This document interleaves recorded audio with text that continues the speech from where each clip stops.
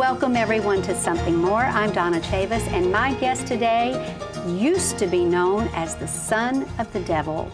Well, no longer. If you know John Ramirez, John, now you are. I am the son, the follower of Jesus Christ. Kicking All the day, devil. Every day. Kicking the devil, eviction notice. Amen. Well, you know, if anybody knows your testimony, uh, you were a high priest in Satanism, a satanic high priest. I was more like a satanic high priest, but my rank was a general in the kingdom of darkness. Wow. I was a general in the kingdom of darkness. Nothing moved, nothing operated in the spirit realm unless I was involved. My, my. That's that's so hard to believe knowing you now because you're just full of the power and the love of God. I, I don't know if everybody knows your story. Let's start there. Well, give me a little background, your childhood. Well, my childhood, I, I, I grew up, my, my, the lineage of my father's side of the family was all witches and warlocks, and uh, we practiced spiritualism, Santeria. And Santeria, i- i- is, they, they call it worship of saints. And, and that's just, a, that's just sugarcoating it because in the background, the back door of Santeria is worship of demons.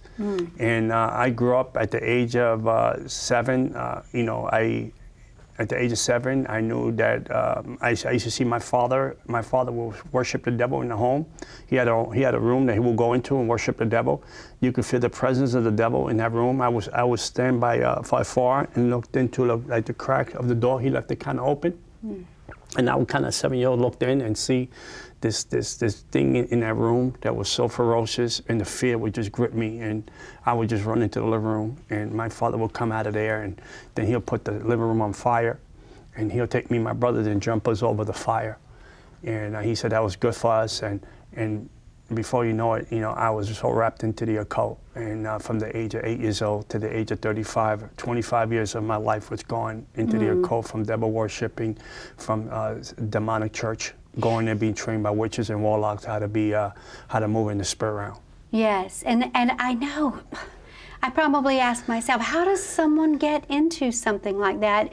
But your father was very abusive, and you, you didn't feel any love from your father. No, no, not, not at all. You know, I, I think I think the you know the, the love the, the love of the fathers is so important in every family, and uh, that that wasn't the case in my home. My home, the love of my father was absent, and not only absent. You know, my father will still be home and he'd still be absent, because my father didn't know how to love. Right. Because he was never loved, so he knew how to love us, me and my brothers. So we wanted that, that, that recognition, you know, hey, you know, go to the baseball game, go out to the park and play catch, or go mm-hmm. take the bike out, or, or take us to a Yankee mm-hmm. game, or, or do something with us. Or even when we came with the report cards home, oh, you know, maybe a pat on the shoulder, a hug. That was mm-hmm. there was nothing like that. So so that was so absent. It was so. Um, It makes you empty. desperate, doesn't it, for, yeah, oh for yeah, oh yeah, yeah, for acceptance. love? I mean, I think we all do. I think young, old, in between, every person is looking to be loved. And you actually did some type of a ceremony to be inducted into this cult. You know, I was, you know, uh, people don't know this, and I say this, I share this very few times, but I was, I was, even though my father was, my father practiced witchcraft for many years, my aunt was still a witch. She practiced witchcraft. She's still in the, in the witchcraft realm in, uh, in Santeria and spiritualism and Palo Mayombe. My, my, just to say this, my induction to the, to the occult was at the age of seven. I was in the playground, schoolyard playground, uh, broken lot where the building was demolished, and I was standing there, and this necklace fell from the sky and uh, from the second heaven, and it fell and hit the ground, and it was the colors. It was uh, it was called the seven. It was called the seven colors of the dark side, of the seven powers of the dark side. It's, Yeah. it- it's the seven powers Yeah. of the dark side. When it fell on the ground, I took the necklace, I put it in my pocket because I was with a friend, and I didn't want him to take the necklace, and I heard my mom's voice. And I could, I know that was in my mom's because I mean, we, I was miles away from my house. My mom couldn't scream that loud and said, "Johnny, come home." So when I went home, I put the necklace on, and I was and did my induction from the first, first and second heaven, where the principalities reign and rule, and then from there I was ushering by humanity, my dad and my family. I was ushering through car reading, tarot car reading at the age of mm-hmm. eight, and mm-hmm. that's how I got inducted. From the age of 8 mm-hmm. 35 years old, I was engulfed in the dark side. And when you say a general of, of, of the dark world, of, of darkness, you actually would astro project yourself? You, you sacrifices? What kinds? What Well, kinds animal, of things? animal sacrifices, cutting, uh, drinking animal blood, drinking your own blood. You have to cut yourself and drink your own blood. Uh, going, going, doing different ceremonies, uh, different, different ceremonies, different de- territory demons, ground demons, principalities. Uh, knowing the, the rituals and the ceremonies, and, the, and, and knowing the language, the demonic language, and moving into the ranks of the demonic realm deeper and deeper and deeper as the devil allows you to move and trusts you with deepest secrets of the demonic side. So in, in, in that alone, I moved up to the, I, I, I even got married in Halloween. I had a demonic wedding on Halloween. Mm. That was my, a, a true marriage in Halloween. I got Yeah. demonic wedding Halloween. So, so moving them into the ranks and then the devil allowing you and then making different, diff, different contract with different demons that, that, that they had the powers to, to take your soul out of your body and astral project. So those contracts, I, I ran out of, I did, I did all the ceremonies in the witchcraft world. There was no more ceremonies to do. I even did the last ceremony I did before I, I came to, to the Lord Jesus Christ. It was called Sansi, which is a Haitian ceremony that Yeah. they they, uh, they they they they cl- close the ceremony with uh, uh, with ice bucket water. They do that, and and that, that was the last ceremony. And then my last meeting with the devil was uh, I went to a meeting, and I was still tw- between two worlds. And I went to the meeting, and the devil came down in that meeting after 12 o'clock, and he said, "My son, in demonic language." He said, "My son, could I talk to you?" I said, "Sure." And I wasn't even there because I was so numb. And I was so numb to r- p- p- trying to wrap my mind around Yes. which direction I wanted to go. And he said, "You know what? God throws out of heaven." And I said, no, I don't, I don't, I don't know. He said, because God was jealous of us, and that's why he threw us out of heaven. Oh. And then the devil left. And Mm. I walked home at four in the morning. It was 10 degrees. I didn't feel nothing.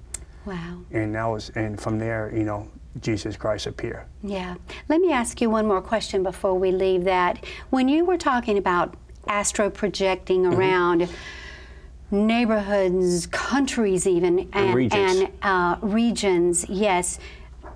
Uh, uh, speaking curses and putting curses Mm-hmm, on on people, you said you uh, and then and then sometimes you would see a different scenario when you were doing this, and it was people uh, in their homes, and they were praying and speaking the name of Jesus, and and um, I saw that in the was spirit different. realm, you know, because the thing is, see, the devil got, the devil is very powerful.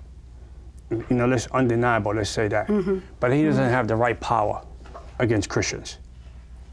So I, I would astral project, leave my body, go around, whatever the, de- what the whatever the demonic demon I had the contract with. That's what they call the civil court. Mm-hmm. Because a civil court is not a civil court; it's the contract. The, the, Yes. con- the contract, the Okay. bands and scrolls Okay. of what you make. Okay. So when I used to leave and go over these regions, I will curse nine out of ten regions. I will curse, put poverty spirit, homosexual spirit, witchcraft spirit, uh, uh, alcohol spirits. I will straighten off the corners of the four corners of, this, of, of, of that region because it represents the four corners of the world. I will curse it, make it stronger, so there will no way that they can preach the gospel there. Mm-hmm. So I would do all these things, but there was a set of Christians. There was a group of Christians. I call them special ops, spiritual snipers Special ops. special uh, spiritual sniper. They know how to pray spiritual warfare. so what would happen when you would encounter that? When you would see that? When I will come in into into that region, I will come into that neighborhood. I will come in, and I already was ready in the spirit, and I was set up to dis- kill, steal, and destroy everything, and, and just reinforce the devil's work in that region. And I will see a group of Christians holding hands in a circle. And circle means unity. Yeah. That means you can't break that Yeah. unity.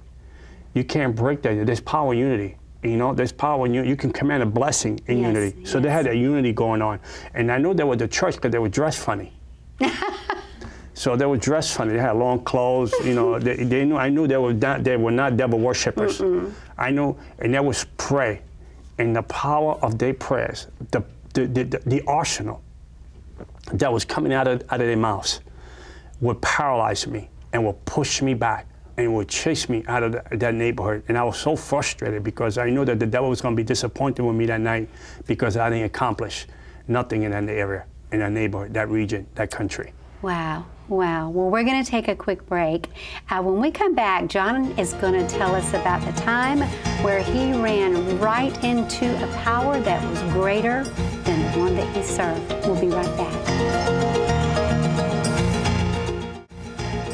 Welcome back to Something More. I am here with John Ramirez. And John, I, I want to make sure we don't move too quickly past what you just said before we went to break. When you were astro projecting all around these different regions to, to put curses on them, and you would encounter believers.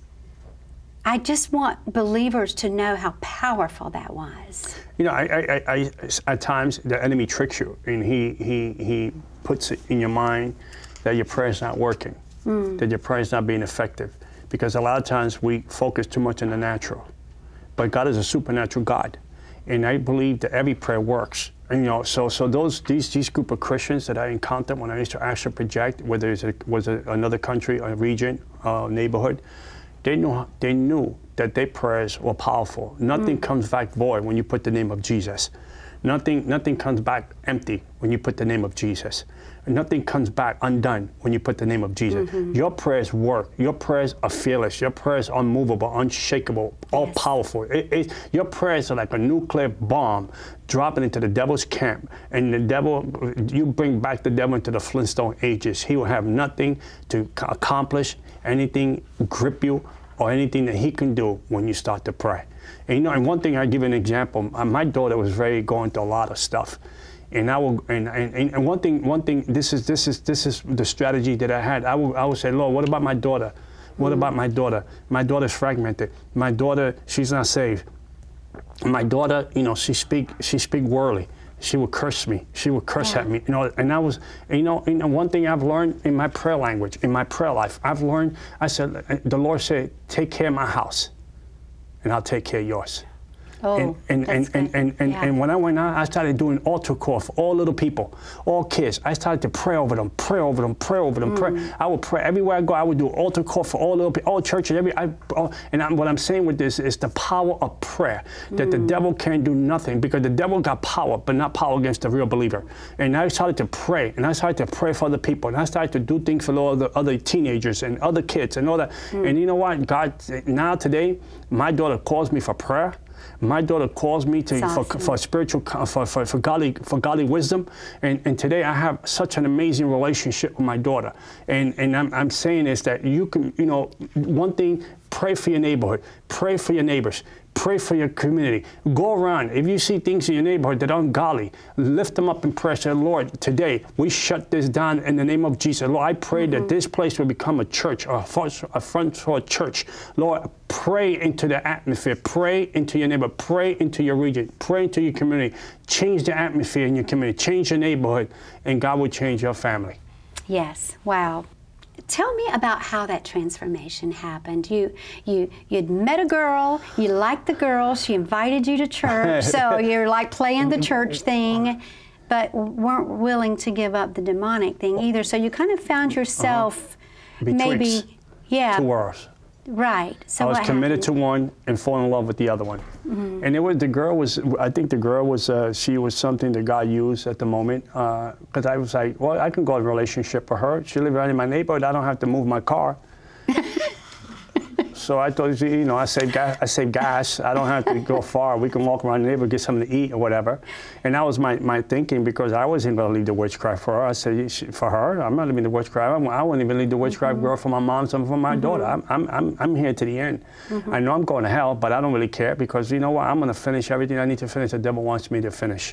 And right. that was my mindset, you know. And, and, and, and somehow the girl said, hey, you know, we got together and uh, she said, if I stop dating people and you stop dating people, we date each other I said, okay, well, you know, you convenient. You live two minutes away, so that'll work for me. And, uh, and she's very pretty. I'm not taking nothing away from that, but the thing was that was God's plan. And, and, and I came to church, and when I came to church, uh, I asked the devil permission first. I said, devil, I asked oh. the devil permission because you have to ask the devil permission for every step of the way. Mm. So I, I, I sat down that night. I spoke to the devil. The presence of the enemy came to the room. I said, some girl invited me to church. Should I go? And he said, he said, go. The people are weak.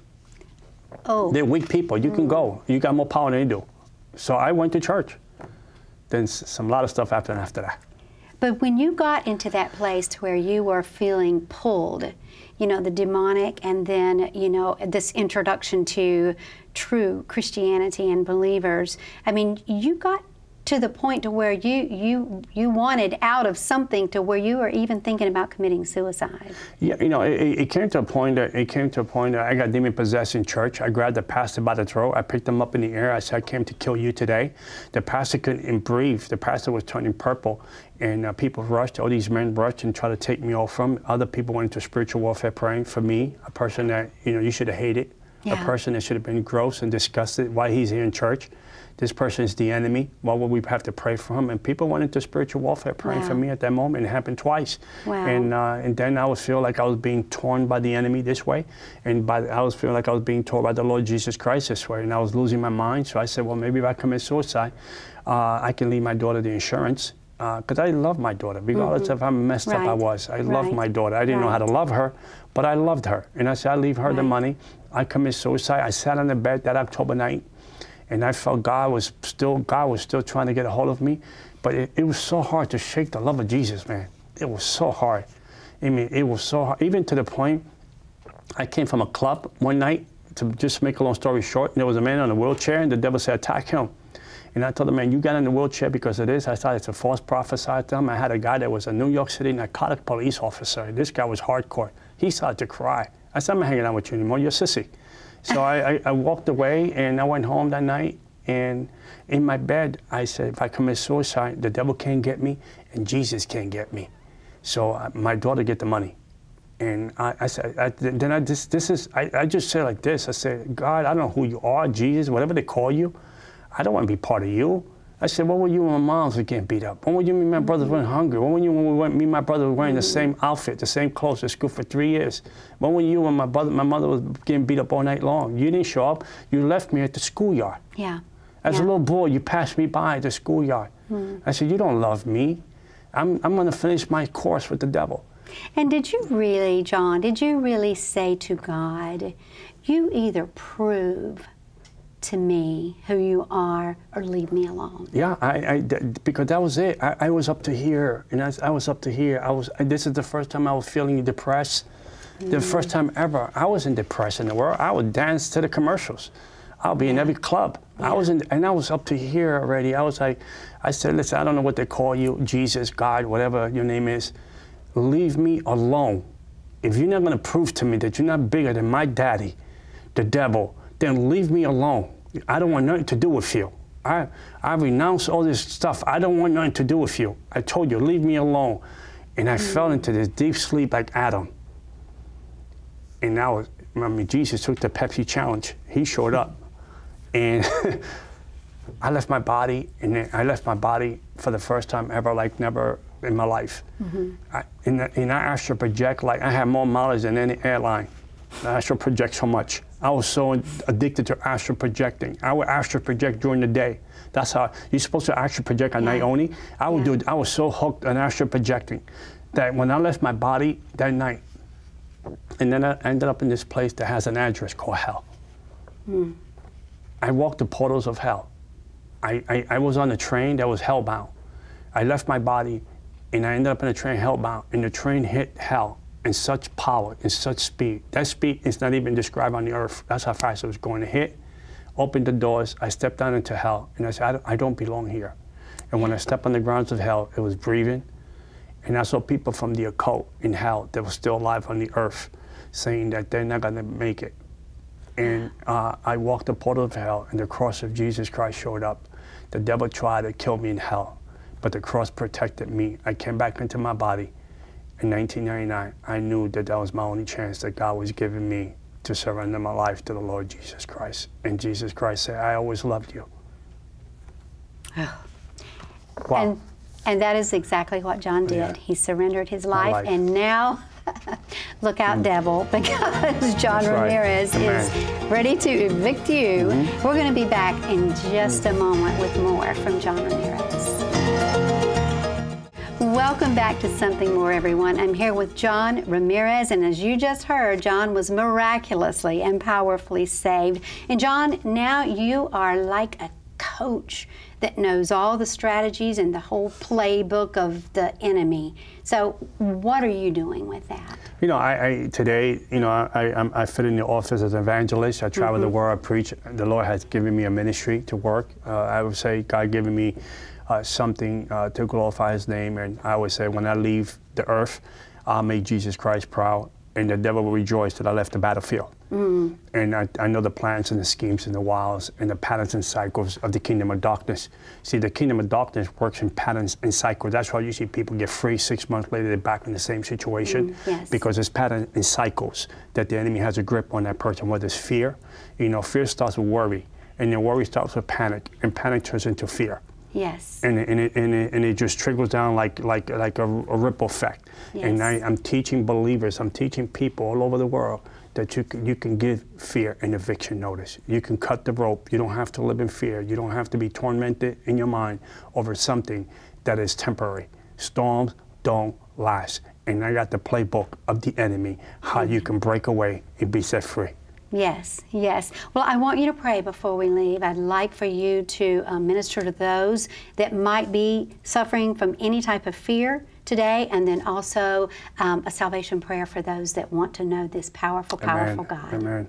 So I just, I just want to just, I just want to speak to your heart today. You know, I, I, I grew up in a place that was broken, fragmented. I grew up in a place that were uh, the pieces are missing. And the only person that know how to put the puzzle together, I think he's the master architect of your life, is Jesus Christ. All you have to say, you could say like John Ramirez say, hey, if you're for real, show me. You, you, wherever you at, you can say, Lord, show me. And it's a simple prayer. Mm-hmm. Say, Lord, you know, forgive me for my sins and be my Lord and Savior. Come into my life and write my story. And I believe that God will take that challenge and He will write your story.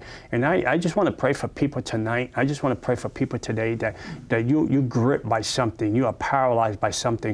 And a lot of times we a lot of times we grow old, but we don't grow up. And a lot of times we we stuck in a place that we should have been further up ahead on down the road. And I'm praying for you today in the name of Jesus Christ, because that's the name that is above every name. So if you're oppressed, depressed, if you're going to suicide thought, if you're going to fear, anxiety, wherever situation, there is a name that is above every name that we just mentioned. That name is the Lord Jesus Christ. Every name has to bow down to that name. So Father, in the name of Jesus today, we paralyze, break, destroy, dismantle, uproot. We curse at the root. In the name of Jesus Christ right now, fear and any demonic satanic attack over anyone right now that is listening. We paralyze the devil's camp. We confuse their languages. Let those devils attack one another in the name of Jesus and set your family free, set yes. you free, whether you have infirmity, you might have cancer. You might be in a place that you think that you're done, but you're not done. It is the beginning of new beginnings. So, Father, right now, we put the devil on notice in Jesus' name, and we break this demonic powers over every listener, every person that is listening, yes. the sound of our voice. Father God, this is a divine appointment to set people free. So we thank you, Lord, for the freedom and the healing and the deliverance power of Jesus Christ. Yes. Amen. Amen. John, thanks for being with us. Thank you so much. Amen. thank you for watching something more today. Hope you'll join us next time.